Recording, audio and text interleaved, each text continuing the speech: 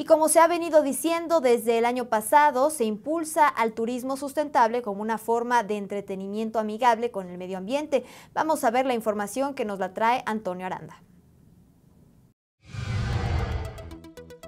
La laguna de Yuriria, en el estado de Guanajuato, es un cráter que en 1548 fue inundado por la Orden de los Frailes Agustinos con el objetivo de tener un vaso regulador del río Lerma. Con el paso de los siglos, los 150 kilómetros cuadrados de superficie pasaron a formar parte de la ruta migratoria de diversas aves destaca la llegada a mediados de noviembre del pelícano borregón, que viaja 3.500 kilómetros desde Canadá y Estados Unidos para pasar el invierno en sus aguas de clima templado. Como tantos cuerpos de agua, la laguna de Yuriria lucha por sobrevivir, pues sufre de graves problemas como descargas de aguas residuales, disminución de la profundidad del cuerpo de agua, sobreexplotación del recurso pesquero, invasión de la ribera por la actividad agrícola y ganadera, entre otros tantos.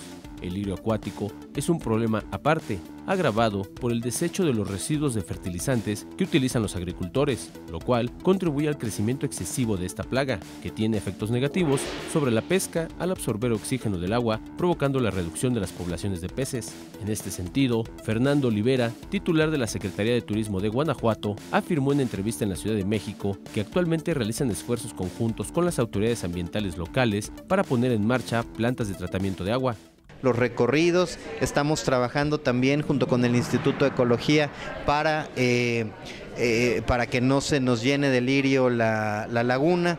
Hemos instalado en los últimos tres años cuatro plantas de tratamiento de agua para que también, bueno, pues el agua que se está vertiendo a la propia laguna, pues sea ya un agua eh, tratada y que de esta manera, bueno, pues las diferentes aves migratorias puedan seguir encontrando un espacio de naturaleza y que lo puedan seguir haciendo año con año.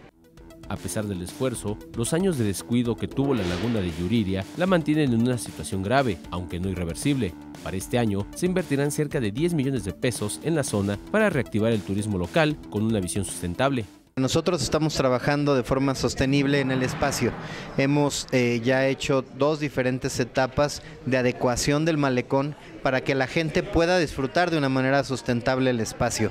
Este año estamos volviendo a invertir 10 millones de pesos en la zona para ya integrar una zona de locales comerciales y que no tengamos pues una explotación eh, sin o desmedida, sin, sin algún control.